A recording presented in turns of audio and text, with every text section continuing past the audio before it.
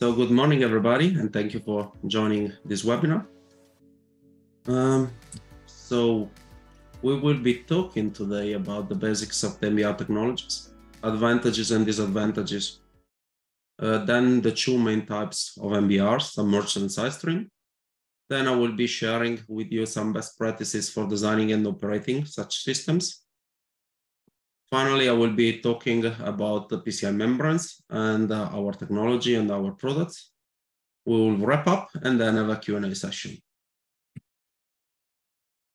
So starting with the basics, probably something that most of you already know, but at least we are all on the same page.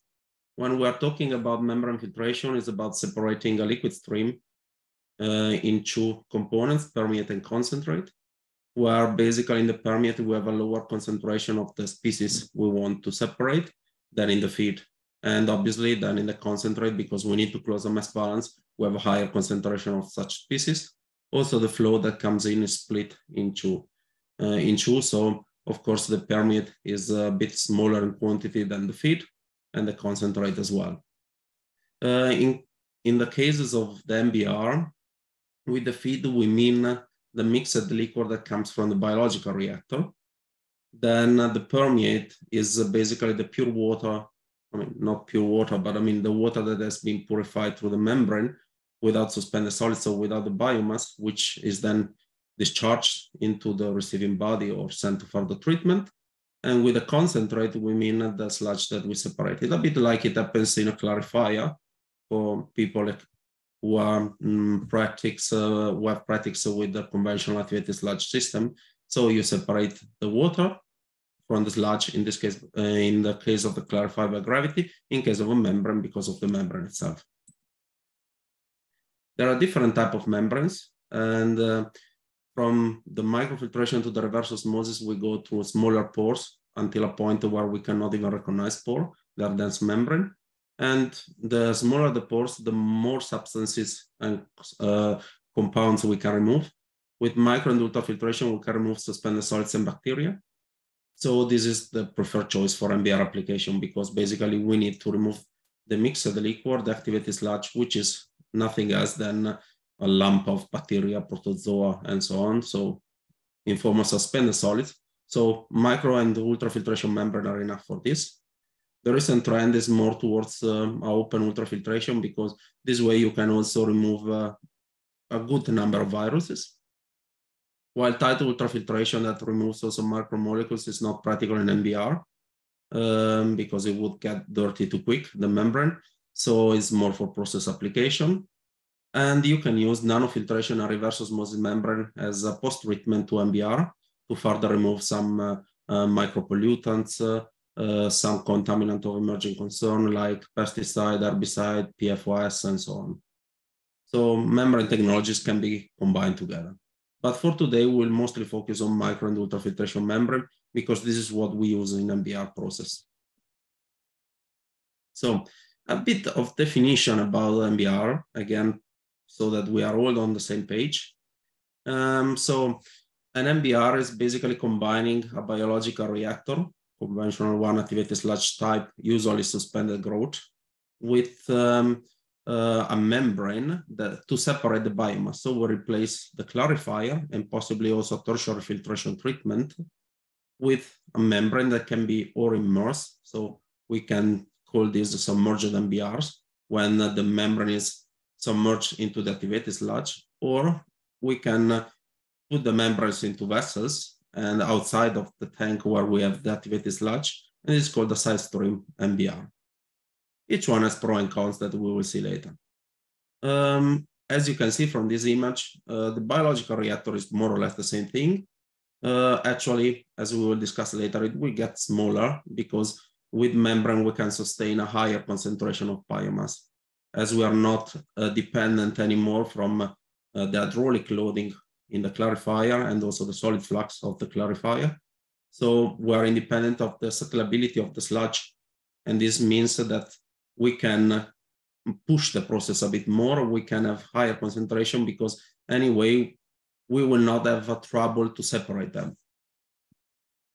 The membrane basically as an absolute barrier for the sludge. Um, what are advantages and disadvantages of MBRs compared to the conventional activated sludge system? Well, the main advantage is the quality of the effluent you get out. Um, you can see also in this image, I mean, this is the mixed liquor. As you may notice from the color, this is an industrial wastewater treatment plant. And then you get a totally clear permeate. Uh, most of, uh, of the membrane used in MBR are filtration rating, and so they can remove basically every solids uh, and most of the turbidity. And in case you want to use uh, then uh, um, nanofiltration reverse osmosis post-treatment, they also take, uh, they also enable very good values of the uh, silt density index that is below three. So you don't need pretty much any pre-treatment. You can put directly a nanofiltration or a reverse osmosis uh, unit after. Uh, by retaining all the suspended solids also, we have a complete control over the sludge retention time, which is one of the most important design and operating parameters of uh, activated sludge plants. So it's really good because you know exactly how you're operating your, your plant and you are not losing sludge through the clarifier. Mm, compared to conventional system, also the footprint, as we already hinted, is, is smaller because we can uh, tolerate higher concentration of biomass in the biological reactor. And also we can skip any tertiary treatment.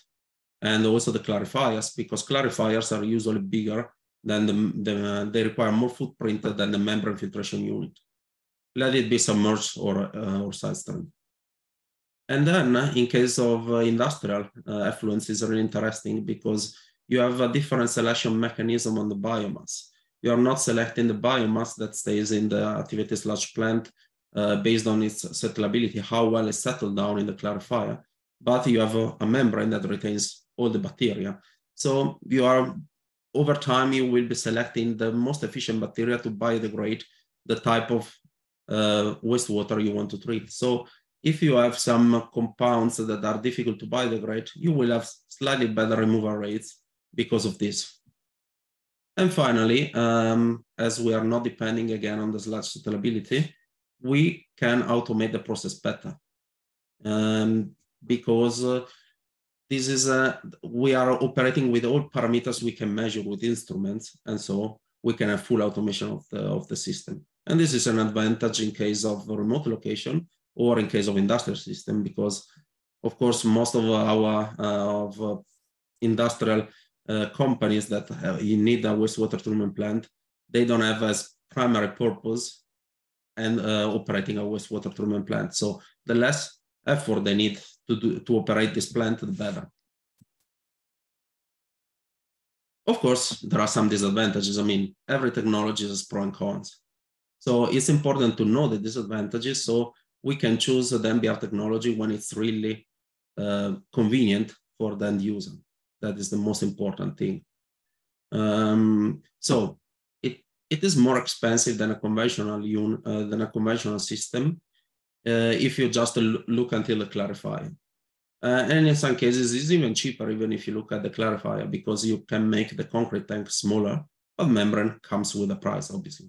If you start that you need to add already sand filter after the clarifiers, um, membrane system can be can easily match all of this in terms of cost. So as soon as you re require tertiary treatment, uh, an MBR system is convenient. You have also higher operating costs because you need to keep the membrane clean. Uh, and also is slightly more difficult to aerate the biomass because it's more concentrate. But this can be amended by the fact that you can choose not to high biomass concentration. And also it was over the last 10 years, the mm, scouring air consumption really dropped a lot because there was a lot of product development uh, in the technology. So right now, um, most of the, uh, the MBR products require little air for, for, uh, for keeping them clean. And this really reduced the cost a lot. Um, one more thing is handling of peak flows. This is mostly an issue with uh, municipal wastewater treatment, not much for industrial.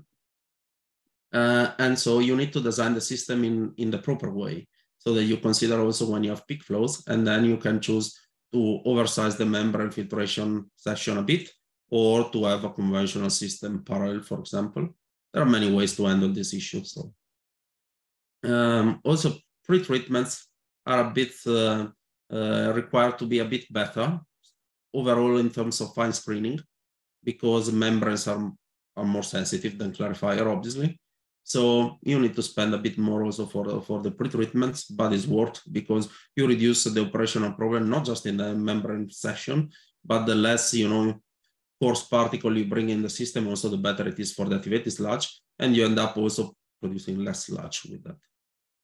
Um, then you, if you are, if you want to operate nitrogen removal, biological nitrogen removal with a pre-denitrification configuration, you need to take in account that you're recirculating a mixed liquid that is rich in oxygen from the membrane unit, uh, unless you're using a side stream reactor, obviously. So you need eventually to put the oxygenation tank or to split the recycle. And finally, you need to train the personnel to operate membrane system. It's not the same as clarifier, so different type of knowledge is required, but everything can be uh, can be taught to operators, obviously. So we have seen the pros, we have seen the cons. When do we use these MBRs? Well, when we need to respect street discharge standards and possibly tertiary treatment are needed. If we need to have low COD, if we need to have low nitrogen phosphorus um, and remove bacteria and possibly microplastics, MBR are a good choice.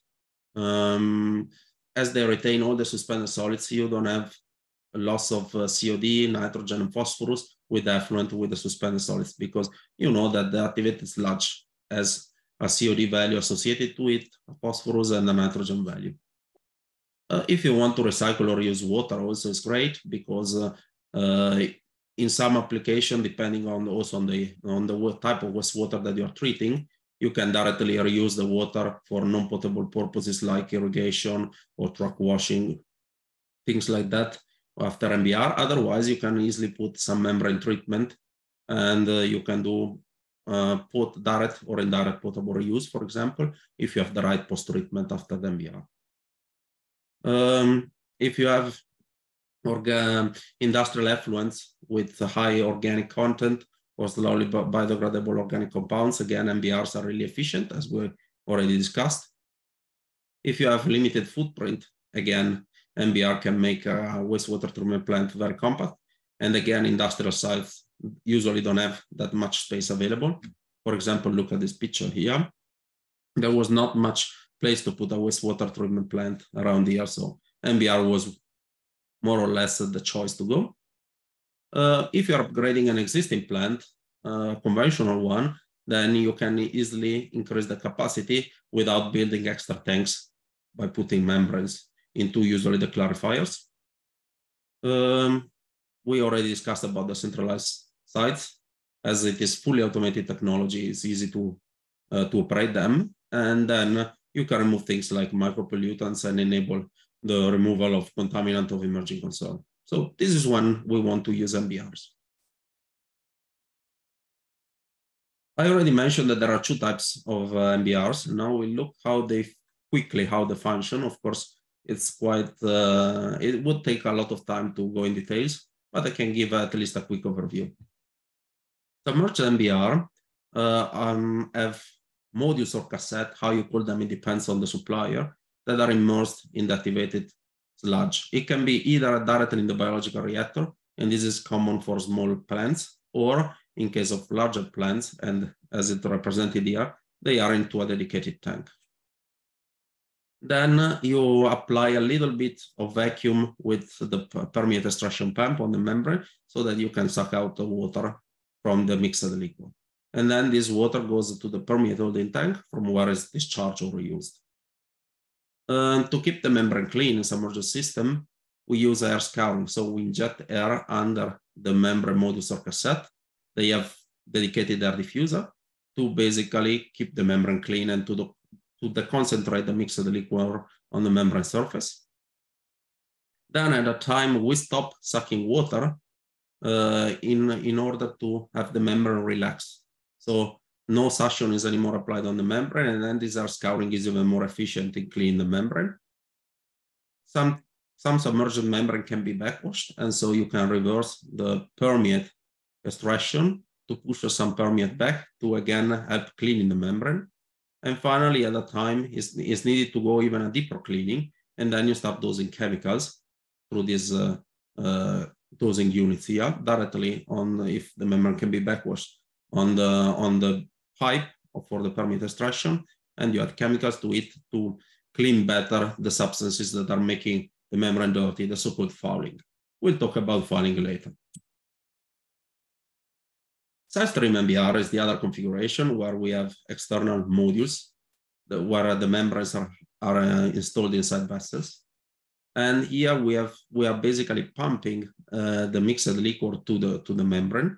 And thanks to this positive pressure, we produce some permeate that then gets discharged or used and the remaining fraction of the mixed liquor is recirculated back to the reactor or and partially discharged as wasted activity sludge. Again, we can perform a relaxation with the same principle. Um, we basically open, in this case, the back pressure valve to create to avoid any back pressure on the membrane, so we're not permeating, and we just get the mixed liquor to to run through the membranes, cleaning them. Uh, we can some can be backwashed. So we can apply a little uh, backwash flux. Usually it's very low, so it's negligible. And in most cases, is enough just relaxation. And then finally, we can chemically clean. Again, here we create a diluted solution in a dedicated tank called CIP tank. And with a pump, we circulate this solution through the membrane to clean it. So this is a very high level view how this type of system work. um, when do we use one or the other? So uh, in terms of effluent quality and uh, waste activity sludge generation, they are the same. I mean, as long as the membrane has the same rating, they will perform the same. But the different type of configuration gives advantages and disadvantages to each uh, to each type, submerged or side stream. For example, side stream is very convenient if you want to have very high suspended solids concentration in the biological reactor, for example, industrial sites to limit the footprint as much as possible. Uh, you can also have higher fluxes because you are using higher pressure to drive the water through the membrane. So you can again reduce the footprint. Um, also, you can save on installation cost because uh, you can usually make a prefabricated system that is really easy and quick to install. So you come on site usually with skids or containers and they use less chemicals because the volume that needs to be cleaned is smaller. And finally, maintenance is easier as uh, you are not, you don't need, do not need to take out membrane cassette or modules from an activity sludge tank. So that makes things easy. On the other hand, they require more energy. So uh, because uh, you need to apply a positive pressure that is quite high, I mean, we're talking about anywhere between three to seven bars. Uh, and also is different concept where you need to keep the membrane clean by applying a cross flow. So you're pumping a high flow rate through the membrane to keep it clean. While with submerged membranes, you're using air to keep them clean and uh, is and at a low pressure. So it's much easier to pump air at a low pressure than water at a higher pressure. Uh, and this way you can save energy. Additionally, usually submerged membrane have a longer membrane lifetime, even if this is not because of the membrane itself, it's mostly because of the application. They are used in less challenging application. So when do we use submerged and when do we use side stream? Well, we use submerged every time we can because they are cheaper to operate. So this is usually what, if you look at the project in to a lifespan or at least seven years, if not 10, 12 years, is much cheaper. You have a lower TOTEX. The total expenditure is lower for submerged system. But in some cases, you need to use SideStream because a submerger will not perform that well. And this is when you have low biodegradable industrial effluent. And also they can be convenient for small and medium system because you want to make them really compact and easy to operate. And this is the case for industrial effluent again, usually. Um, a typical example of side stream reactors is with landfill leachate but also for some in industrial effluent like dairy when you have not that much space available. Maybe your dairy is located in into you know town, and so they can, they don't have uh, uh, endless space to build a wastewater treatment plant. So can be really interesting. So now let's look at the best practices to design this type of systems. To design an MBR in the proper way, first and foremost, obviously, you need to know what is what is the wastewater that is entering the system. So you need to know the quantity. So we are talking about what is the average daily flow, the peak hourly flow. For municipal wastewater, where you have a mixed uh, sewage system, you want also to know uh, peak daily flow, peak weekly flow, peak monthly flow, and so on. But in most cases, average daily and peak hourly are enough. Then you need to know what is the quality of the water. So you're looking at non-ionic and ionic components, and also as well temperature, pH, and so on. I'm not reading the list. I mean, it's quite self-explanatory. Uh, and more for most wastewater treatment system, you need to know this data. I will talk what needs to be uh, carefully taken care of later on. So we will see what is uh, what are the tricky parts for MBRs. And finally, we need to consider which type of quality do we want to reach. Do we need redundancy in the system? What is the available footprint? Because as we discussed, this drives the choice between submerged or um, or side stream. And then if there is any existing tanks or reactors that we can use. And then depending on the application, of course, there can be other parameters that we need to check. So there are a few things that we need to be really careful on with MBRs. So we already talked that they need more pretreatment, and this is exactly why we recommend a fine screen with rating below two millimeters. We'll talk about uh, more about uh, fine screen in the next slide. Meanwhile, I want to cover also grit and sand that needs to be absent because you can imagine the sandblast membrane basically. Uh, but anyway, you don't want to have uh, grit and in conventional system because otherwise they accumulate and you reduce the fraction of uh, uh real activity sludge that can process your wastewater. If you are accumulating sand and grit over time, then the ratio between volatile suspended solids and total suspended solids decreases, and then you have less active biomass in the total solids in the system. So it's something you don't want to have uh, nevertheless. Obviously, you need to have an, a good working activated sludge, healthy activated sludge. So you need a pH between six to nine, proper macronutrients, so you have the CNP ratio to, to control, and then to avoid toxic compounds. Because if the activated sludge is healthy, then it's easier to filter it with membranes. If uh, instead you have toxic substances, you are lacking macronutrients and so on, you may have that the, the activated sludge stressed, so it produces what are called extrapolymeric substances that are acting like a fouling layer on the membrane. So you don't want to have that. And finally, you need to control fat, oil, and grease. Uh, for animal and vegetable, you need to be below 100, 150 ppm, while for mineral, you want to be below 10, because this is the capacity a well-designed bioreactor can tolerate and can process, so you don't have any coming to the membrane creating any fouling. Fine screens. So our, I was mentioning earlier, less than two millimeters what we want. If possible, is better less than one millimeter. It's better for the membrane, but it's not mandatory. Still, it's quite inexpensive to get in most, at least industrial installation, and is strongly recommended. Uh, regarding the type of screens, we would we prefer uh, punched hole and mesh type. We don't really like wedge wire. The reason for this is because wedge wire um, is really not that efficient in the sense that the, the apertures have two different dimensions. You can see here you have round holes, here you have square holes, here the holes are rectangular. So even if it is rated two millimeters, in reality, there is the other direction that is not two millimeters, will likely be five, six millimeters. And so you are not meeting the screening criteria which are really important also to get warranty on the membranes. And obviously, you need to be sure that you don't have any bypass of such fine screens. Otherwise, what is the point of having them? So when we look at the biological reactor, what do we need to consider? Well, design methods and everything that is, you know, you use to design a biological reactor is the same as in conventional activated sludge system. Also, the sludge production is the same if you are using the same sludge to design. But as we discussed, you can tolerate higher biomass concentration values, up to 12 kilogram per cubic meter in case of submerged system, and up to 30 in side stream. There, there are also limitations on the sludge age you want to use, anywhere between 8 to 60 days because lower than that or higher than that creates a sludge that is not that great to filter.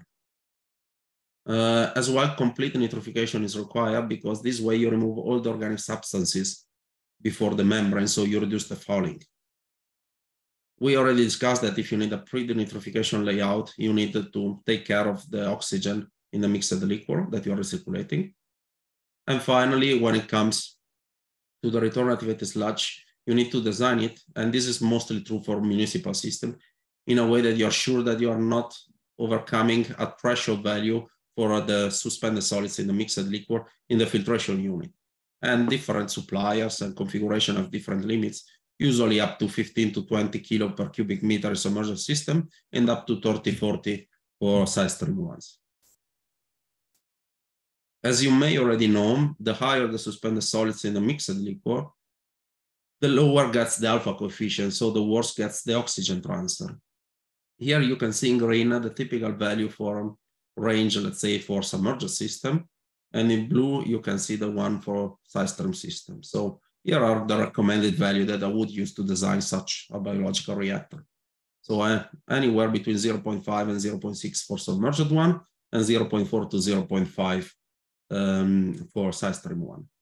This is true if you don't have really high loadings of readily or um, biodegradable substances. If you are operating uh, in a, let's say in a non-stationary situation and you have a gradient of organics uh, through the bioreactor, you may want to use uh, lower alpha values at the beginning of the reactor because suspended solids are not the only parameter influencing the alpha coefficient, but also the concentration of readily biodegradable substances in the mixed liquid. So here, and also fat oil grease are worsening the transfers of factants as well. I mean, there are a few things to be taken in consideration.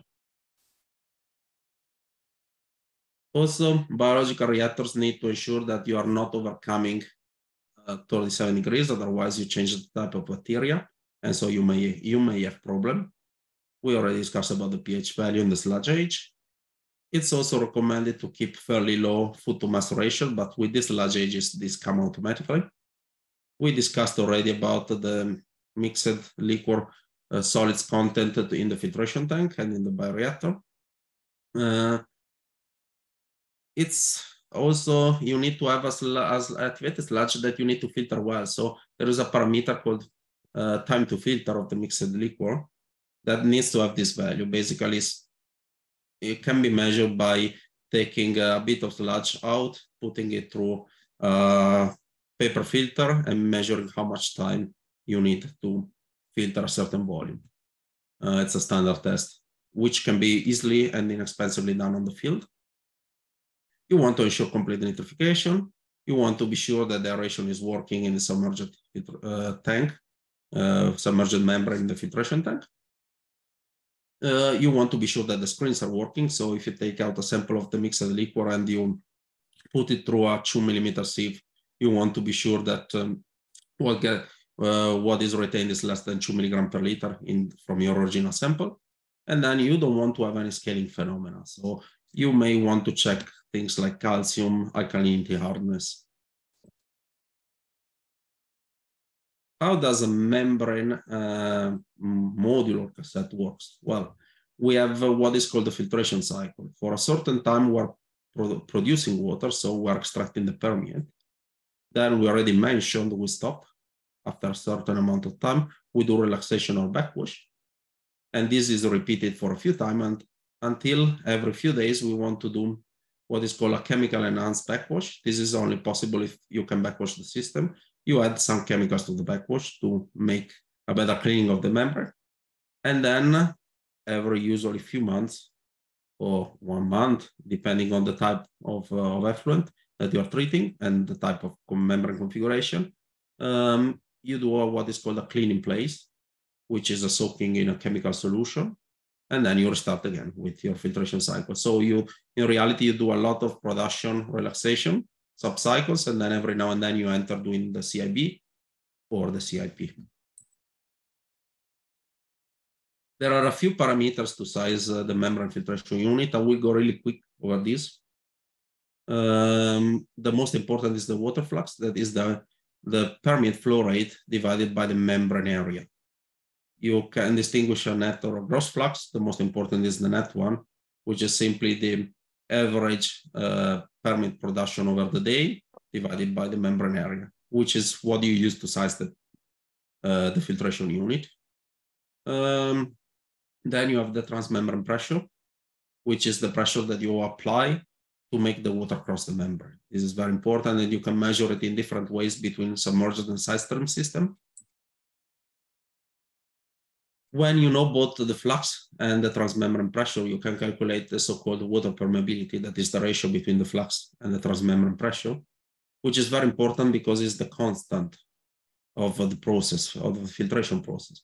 Because if you increase the TMP, you increase the flux, and vice versa. If you reduce the TMP, also you you reduce the flux. So uh, to really check how a membrane is performing over time, you need to know the permeability because if you were changing the pressure, you take this effect out.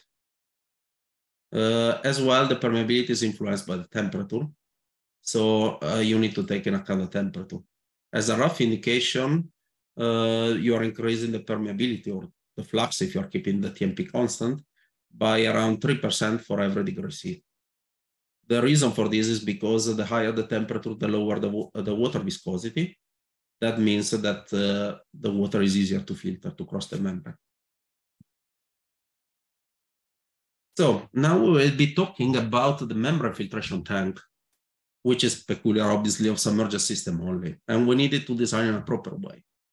So every supplier will give you some dimension because you need to leave some gaps around the membrane modules of cassette uh, in a way that you can generate a proper air lift effect. Because if you recall, we are injecting air below the, the membrane modules of cassette to keep them clean. And then uh, you need to have a round space. Uh, you, you, need to have enough space around the membrane cassette or module to allow this, this uh, two-phase flow made by mixed liquid and air also to come down.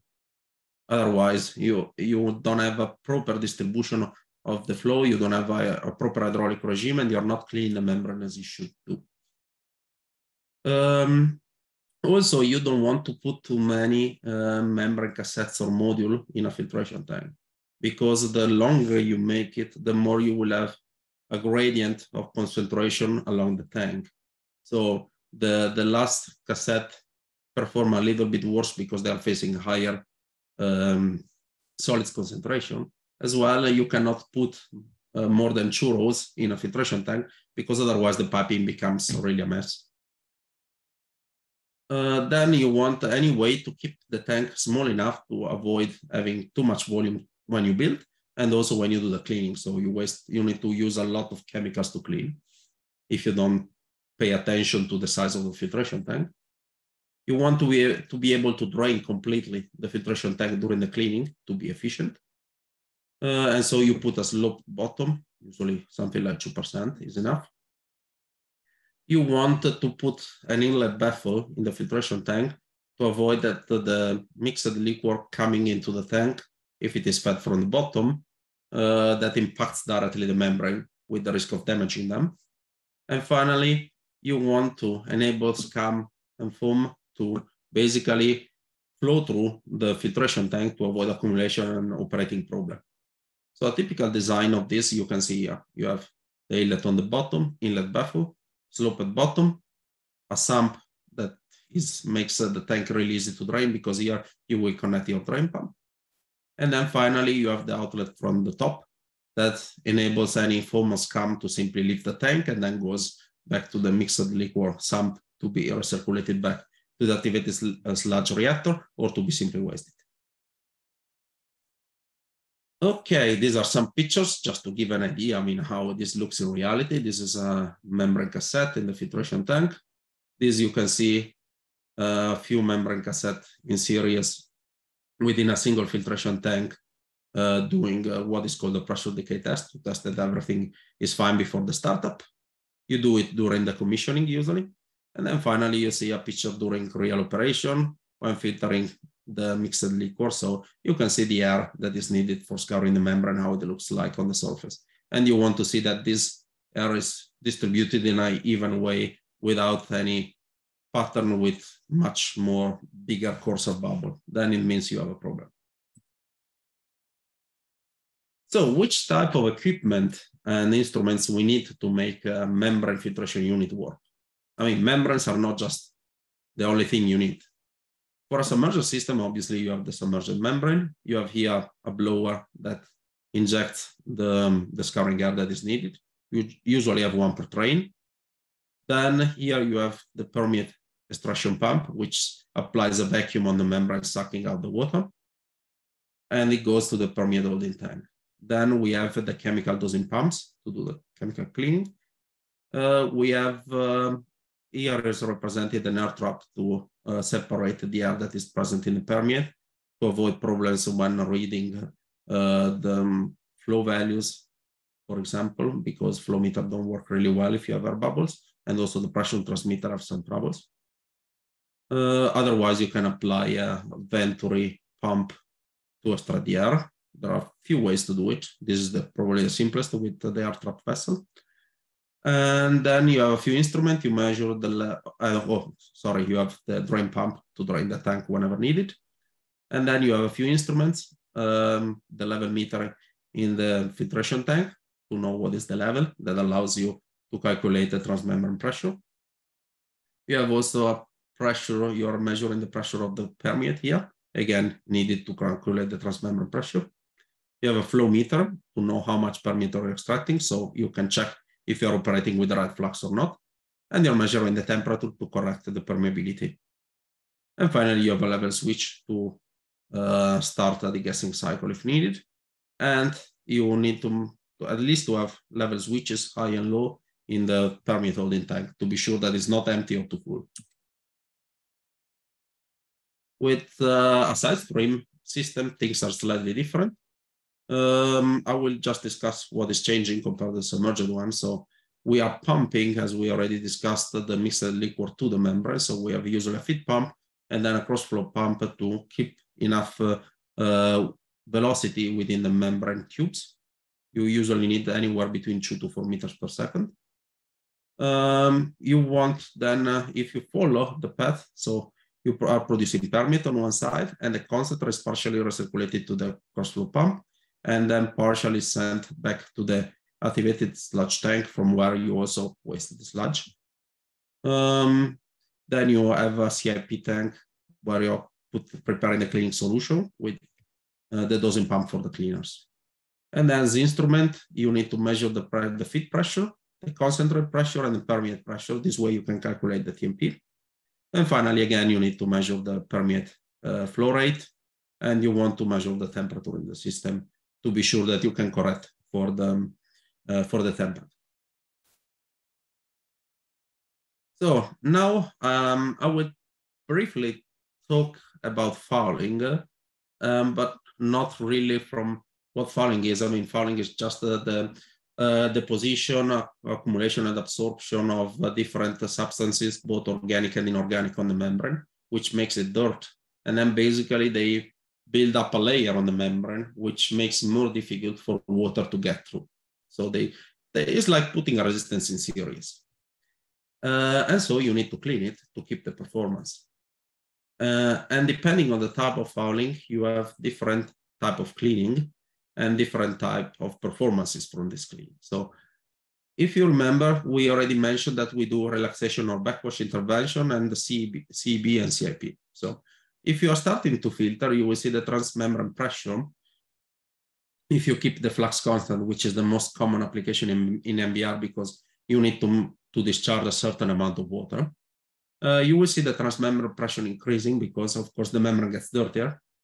And then you do a relaxation backwash intervention to clean the membrane a bit, and then you bring it down again. And you repeat this a few times until it increases enough or you reach a certain time interval, and then you need to perform a CEB. To clean the membrane better, you add chemicals to the backwash water, and then you gain back more, uh, more TMP in the end, is more permeability. And you can repeat this again and again until you need to reach a CIP. Usually you do more CEB before you reach a CIP. I just represented one because of space here. Uh, that's a reality you have hence probably of CEB before a CIP. and then you do a CIP and you recover a lot. And this until you reach the end life of the membrane. Because with relaxation and backwash, you are removing what is called the physically reversible fouling. Then with CEB, you can uh, easily remove the chemically reversible fouling. With CIP, the reversible fouling. And finally, you have, uh, sorry, with the reversible fouling that is left after CEB and, and CIP, then uh, this is accumulating over time. So you will need to increase the transmembrane pressure slightly over time until it, ma it makes no more sense and you need to replace the membrane. But it takes years in MBR application to replace a membrane. Uh, for municipal application, it's 10 year plus, just to give a reference. With industrial, it really depends on the industrial wastewater, but it's usually minimum five years and normally up to eight, 10 years. That's quite common. Um, this is just a brief overview how usually membrane are cleaned, but every supplier have their own procedures. They have different recommendations in terms of concentration, and also they may require specialty cleaners. So uh, it's just a rough indication how you do it. With submerged membranes, usually you do both CEB and CIP. Uh, the CEB are more frequent. Um, different is the frequency between municipal and industrial. They are shorter in duration compared to CIP where you soak the membrane for a long time. And also the concentration of chemical you use, they are much lower. The chemical you use usually are cl a chlorine in form of sodium hypochlorite and citric acid. The chlorine is uh, to remove the organic fouling mostly, and the citric acid removes uh, the inorganic fouling. And truth to be said, is mostly addressed for uh, iron, aluminum, and so on that are often used as coagulants to remove the uh, the phosphorus, to do also chemical precipitation of phosphorus.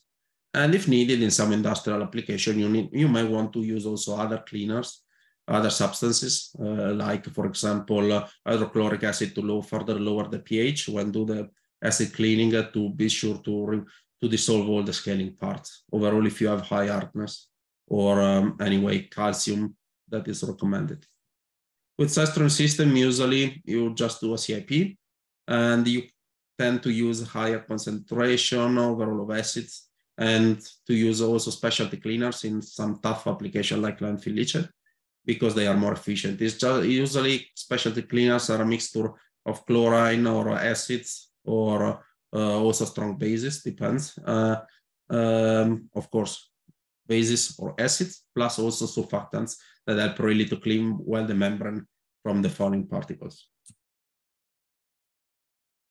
There, um, there are some guidelines. I keep it really high level here, but I want to transfer a message that is really important for who is designing uh, MBR system. That is, uh, be careful when you when uh, you envision the clean system and follow the the guidelines of the supplier of the membrane, because uh, otherwise you may risk to void the warranty of the membrane. So you can still test something tailor-made. Usually you want to talk with the supplier of the membrane to to try something different if you see that the standard procedure is not efficient. And you may want to test just on uh, a small subset of your membrane to avoid any problem on all your installation. And before using a chemical, always check that it's compatible uh, with the membrane. So you need to ask the supplier. Um, for diluting the chemicals, because usually chemicals come quite high in strength and you don't need that.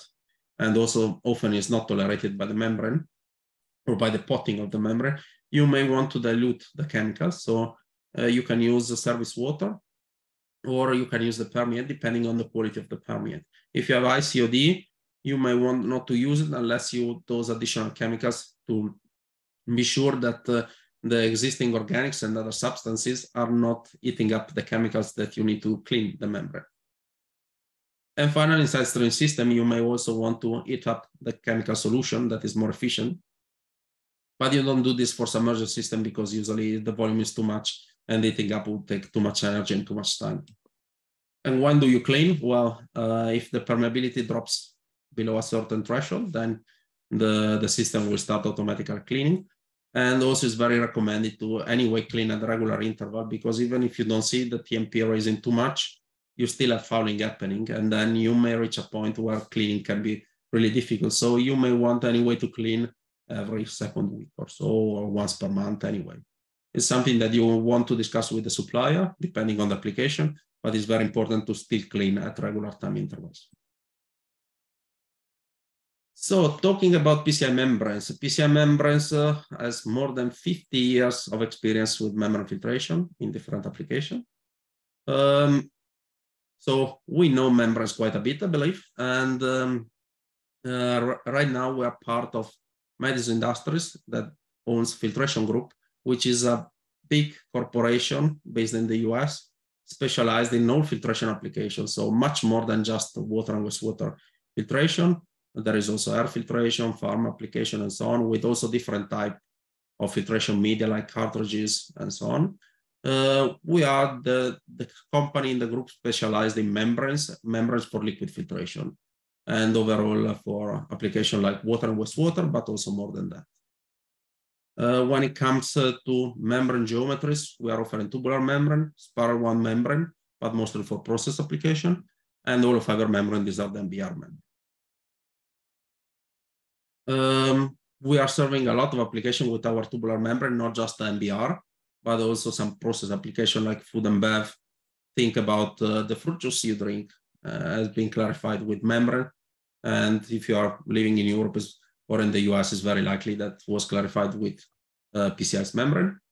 Uh, pulp and paper to reduce the COD from the production directly, um, industrial process separation, and so on. Um, we have spiral wound membrane mostly for food and bev with uh, dairy and protein application. But they, uh, they can be also used in wastewater for some specialty use. And then we have um, the fiber that uh, for submerged MBR. We can support our customer by just providing membrane modules, some engineering services, if you need help in putting the members into a system, or if you want to buy a system, we have partnership with many workshops all over the world to build a system, possibly locally, uh, at a convenient price for you. So you don't you don't need to worry, and you can buy a plug and play solution. Overall, when we're talking about SideStream MBR, we can do this. So what have we we been doing recently? Well, I mean, we our first MBR installation dates back the 90s, and a few years back we also introduced the submerged ones uh, with in quite a few success in these last years with many installation over Europe. And we are getting a very good momentum. And this is coming mostly because of the features of our product, which I want now to cover. I'm accelerating slightly, as you may notice, because I'm mindful of the time. Uh, so we have our SideStream MBR membrane that are tubular membrane, 8 millimeter diameter PVDF membrane uh, usually 100 or 200 kilodalton as pore size. And they are available in 8 inches diameter, also 10 inches if you want. Um, and they have a GRP vessel, so they, uh, they are fairly easy to move around and inexpensive to install because uh, it's a price competitive product in my opinion. When it comes to submerged membranes, we have hollow fiber membranes. We have two product lines, uh, one called GMBR is uh, equipped with a conventional aeration system. So with releasing uh, medium-sized bubbles below the membranes to scour them. Again, is a PVDF membrane, 0, 0.2 micron. And it's a supported membrane, so you can apply quite high pressure. Uh, also for backwash, we can reach up to 1.5 bar, which I think is really impressive.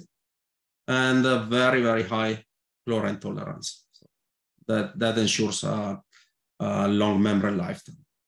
We have also the more advanced version called ZMBR2 that has a different aeration system on the bottom, uh, which releases um, air in pulses, is a pulse aeration device, uh, which allows to reduce the air consumption. So uh, air is injected continuously in this chamber until it reaches a critical pressure and then is released. And then you have a big bubble of air uh, rising through the membranes and scouring them. And so you can see that the air demand is lower. We, uh, is probably one of the lowest on the market. We can reach uh, what is called uh, SAD, so um, scouring air demand per unit of uh, membrane area as low as 0.087 uh, cubic meter per hour per square meter of membrane. So it's really a competitive product. And the very interesting thing for both the ZMBR and, and GMBR is that we can uh, also customize the size of the frame within some limits.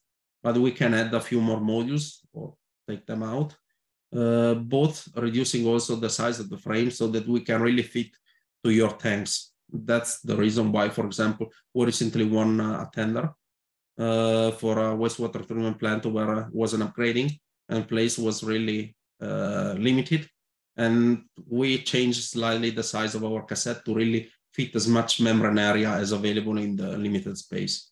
So we can be really a good partner when you need also to customize uh, uh, a bit your, your MBR solution. So now, Emily, I'm asking you to push out a poll for our audience. It's a very simple question. Um, yes, as I've, I've been talking a while, I mean, I would like to see if any of you would like to be contacted to further discuss a bit more about uh, all this information that we provided. So if you say yes, I will be sure to reach you or one of my team in a way that we can talk and understand how PCI can help you with your MBR project and also train your team if required to use our product. We're more than happy to share our knowledge. And unfortunately, this webinar, uh, I could just touch on uh, high level topics only.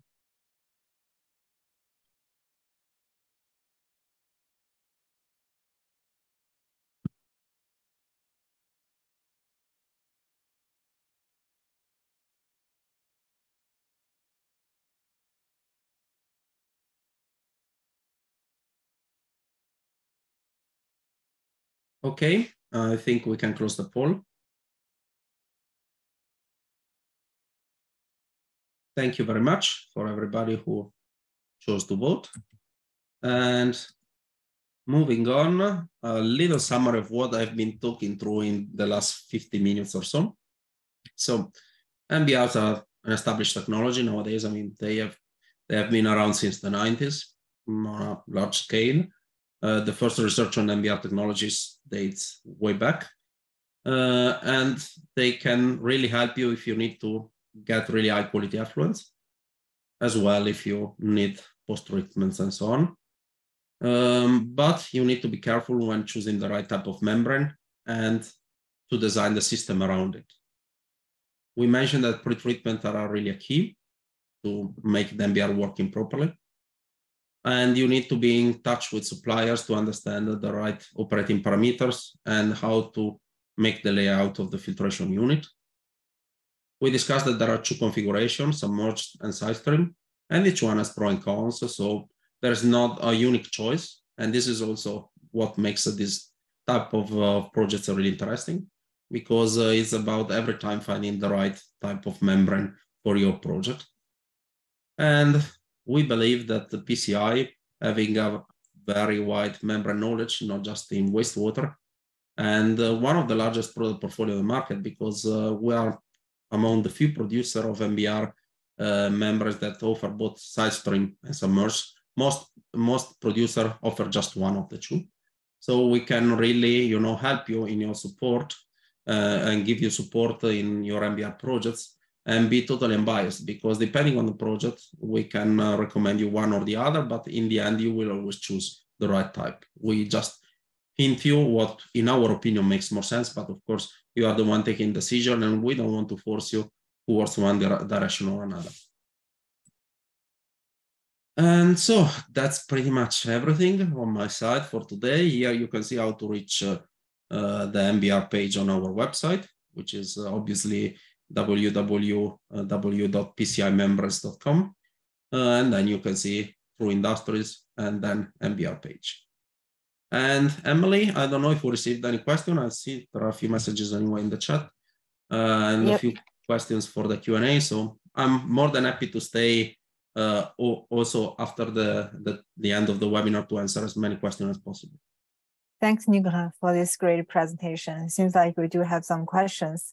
Uh, so the first question is, what is the typical maximum TSS content acceptable for submerged and side stream configuration?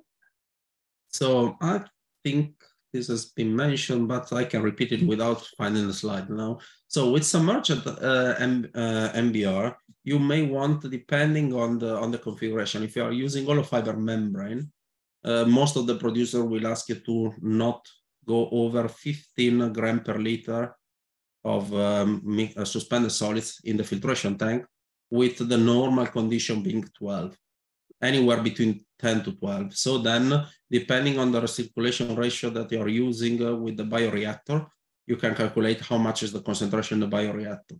So for example, very common numbers are you put eight grams per liter in the bioreactor and you have with a recirculation ratio of five, uh, 10 grams on the membranes, uh, 10, gram, 10 grams per liter. So that's uh, usually a fairly standard situation to design a submerged MBR. Also because uh, if you remember, we were discussing about the alpha factor. So you don't want to increase too much the biomass concentration uh, to avoid uh, very poor oxygen transfer. With, so, with side stream membrane instead, you choose them if you uh, of course, if you have low footprint, so you can push this more. Uh, so usually you can have uh, up to 15, 20 grams per liter in the bioreactor and then 30 to 40 on the membranes, depending on uh, the ratio that, that you're using to recirculate the activated sludge. And then at that point, with those concentration, often it becomes really interesting to use pure oxygen instead of air to oxygenate the biomass. I hope this uh, answers the question. Otherwise, uh, feel free to reach me. By the way, here you can find my email and I'm happy to elaborate further. Thanks, Nicola, for your answer. Then we have also other questions. So one is typical, what is the typical average energy consumption for submerged and side stream MBR? Yeah, of course, uh, there is uh, there is a difference. I mean, with submerged MBR, it depends of course, I give some indicative range. It depends on the particular situation, on the type of membrane that you are using, and so on. With submerged MBR can be as low as 0.1 to 0.2, 0.3 kilowatt per cubic meter per minute. With side stream, instead, we are significantly higher because we are around 10 times more. I mean, 2 to 5 uh, kilowatt hour per cubic meter of per minute. Thanks, Nicola. Um, another question from uh, one of our participants is um, M uh, is about MLSS. Uh, so MLSS plays a big role during the operation of MBR. Means if MLS is low, MBR get choked easily, or higher MIS can easily choke the MBR. Uh, well, if it is low, not really. Uh, if it is high, yes. I mean, uh, uh, there was a parameter was I didn't stop discussing about is the so-called solid flux. So basically when you're putting a flux of water to the membrane, you're also applying at the same time a solid flux because you're pushing a certain concentration to the membrane. So it's basically the water uh, flux multiplied by the solids concentration that you have. And uh, the most of the supplier will, uh, will give you fluxes based on the assumption that you are not pushing more than 10, 12 grams per liter if we're talking about submerged membrane uh, towards the membrane. Otherwise, you need to lower. But you can go higher. I mean, also with submerged that we discussed, there is a limit of around 12, 15. But in reality, if you tolerate much lower fluxes, you can uh, you can go higher. I mean, the submerged membrane has been used, for example, for uh, sludge thickening application, where you can reach usually 2 3%, so 20, 30 uh, even 40 grams per liter, but then the flux drops by a factor of at least three or four, and then you just need more membrane area. It's uh, usually not recommended to use it uh, for such, such high concentration as submerged membrane uh, in the main line. Um, so to separate solid and liquid, but to concentrate sludge, you can use it. And um, so the membranes will not really get clogged unless you you really reach up an normal um, content of suspended solids. Um, side stream membrane, again, there is a reason why there is this 40 gram per liter, because then the viscosity starts to increase, you're dewatering a lot, and then you may end up clogging the membrane with this amount. Uh, also with hollow fiber, yes, you can get clogged uh, at this concentration, but yeah, this is really a limited scenario. On the lower bottom side, um, yeah, there is also Usually it's recommended to not go below six gram per liter or so in normal operation um, for a few reasons. One is because, of course, uh, there will be not much of advantage of, of using an MBR below this threshold. Uh, at that point, you can use a conventional activated sludge system. I would say the clarifier will not be limited uh, factor. Yeah. And the other one is, of course, uh, if you really get low on uh, on the on the sludge content, then you may end up also have uh, uh, colloids that have not been flocculated by the activated sludge. We can close for clogging on the membrane, so you lose permeability. So yeah, the the sweet spot is again between anywhere between six uh, to 10 for submerged MBR in the biological reactor. So you can reach 12, 12 15 on the membrane and for uh, the side stream uh, anywhere between 6 to, to 20 in the biological reactor and up to 40 on the membrane. Uh, again, submerged membrane can tolerate more than 12, 15, but you need to lower the flux and then you can reach 20, 30 without any problem. Thanks, Nicola. Uh, meanwhile, we also have questions about uh, blower. Uh, mm-hmm. First question about blower is, is it necessary to use a blower per train or can a single blower be used for multiple trains? Uh, then another participant also asked, what blower technology do you recommend for submerged MBR applications? Thank you very much for this question. They're both excellent. So um, the first one, uh, it's also possible to use uh, common blowers. Um, it depends on, so the safest from the operation point of view is to have one blower per train and then, and then one common spare. Because uh, you need to take care when you are not, uh, for example, uh, if you have more trains, then you at times you may need to drain the tank during the CIP cleaning, for example. Um, and then uh, you need to close the aeration valve to that uh, to that particular train and uh, change the, the speed of the blower or the common blowers to compensate that there is not a blower on service. And sometimes also you may have slightly different water levels because uh, you are performing a cleaning and so on. And so you need to modulate the valves to avoid that too much air goes to one train than the other. So it, it is possible, but I'm not sure it makes for savings because overall um, after a certain size, it's not recommended to go anyway with blowers. And you need uh, much more sophisticated controls. you need to start considering uh, some um, valves, uh, automated valves with uh, some flow control on it. So it's it's not uh, it's not recommended usually. You can do it, but it needs careful. So if you want to go this way, we need we need to talk together to really find the best way to be sure that uh, the aeration is done properly to all the trains when there are, for example, cleaning intervention running. That is the critical part, or you are simply taking, uh, disconnecting a train uh, from the process.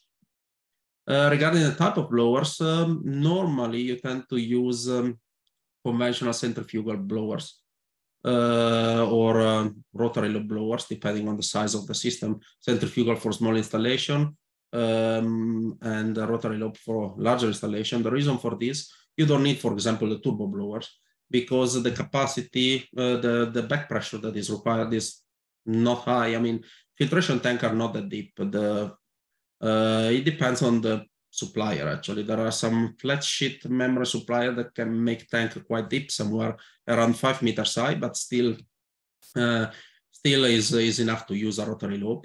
and um, that is basically the threshold to switch to turbo. Instead, for most hollow fiber, the filtration tank are deep three and a half meters or even lower. It's not required to go to turbo. Thanks, Nicola.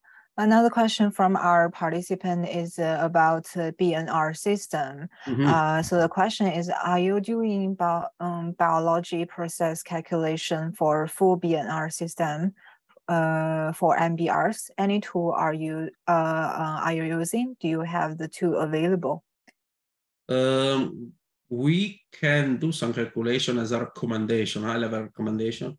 No membrane supplier will will uh, do the calculation in your place. So the responsibility is still on you. We can check if uh, uh, if the system is properly designed in terms of sludge and so on, according to um, to our calculation. We are using the German standard, the DWA 131. But uh, if you want to do more sophisticated calculation, you can also use the conventional uh, models like BioWin, uh, West, uh, and so on. Um, the issues that always you need to have the data to use such models because we can also do calculation based on COD fractionation, but you need to give us the fractionation of the COD. Thanks, Nicola. One last question in the QR uh, is, please explain difference between membranes and cassettes. Also, please tell us how to select number of membranes based on capacity of the plant. Yeah, that's a very good question, which uh, is uh, requires quite a lengthy explanation. So let's try me to summarize as much as possible. So uh, membranes per se is just the part that is filtering the water. So for example, uh, if we take the hollow fiber cassette, you could see all these fibers, white fibers in between. Uh, then these, these membrane are usually potted or fixed to, uh, to what is called modular cassette um, in a way that you fix the membrane uh, to a frame or into you put the end and you put it to a vessel in a way that the membrane can be used. Because the membrane per se uh, you cannot use it as it is because it's open. I mean you cannot separate the uh, the feed from uh, and concentrate from the permeate. You need to put some uh, uh, some limits around it and this is done usually by potting and then putting it to, into a vessel if it is a tubular membrane, or uh, then the potted end are connected to specially designed plastic parts on the on the bottom and upper end, and then these are fixed into a frame where it basically can collect the permeate, or in the other case, uh, to push the feed and concentrate through in case of a tubular uh, membrane. So that basically you can separate the permeate from the rest. That is the function of this and then to give it a shape because the membrane is not self-standing. I mean, you have or a simple tube that is looks like an empty pipe and that is a tubular membrane, how it looks like, or a hollow fiber membrane. Sorry for the analogy, looks like a white spaghetti, which is uh, standing, but you cannot do anything with it. You cannot apply a suction directly on it. You need to have some connection, and this connection are provided by the potted ends. So I hope that clarifies the difference between what is a membrane and then what is a modular cassette. And then modular cassette is just about name. I mean, uh, mostly flat sheet uh, membrane suppliers uh, uh call modules, uh, the, the, the basically the membrane module you buy. Uh, and also the, the side one, the tubular one are called modules, while the cassette, the hollow fiber um, submerged membrane are usually called cassette. And then modules are just a little block building up the cassette. It's just about names in the end, you need, let's say, a, a membrane block that you can call it cassette or module. Uh, what was the second part of the question? Uh, ah, how, how much membrane you need? Yes. How much membrane yeah. you need? Well, uh, it depends on the application because it depends on the flux you can choose. Uh, and of course, on the type of membrane that you're using. So uh, we can give recommendation for fluxes about our membrane.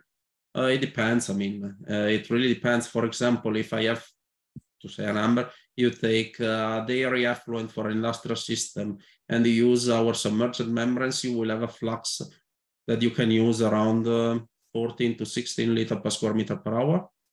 So knowing how much, you know, is the permeate that you have to produce, which is usually how much water is coming in, let's say, uh, I don't know, let's say, let's say 100 cubic meters per day. So uh, that is 100,000 liters. We divided by 24, we are at 4,167 liters per hour.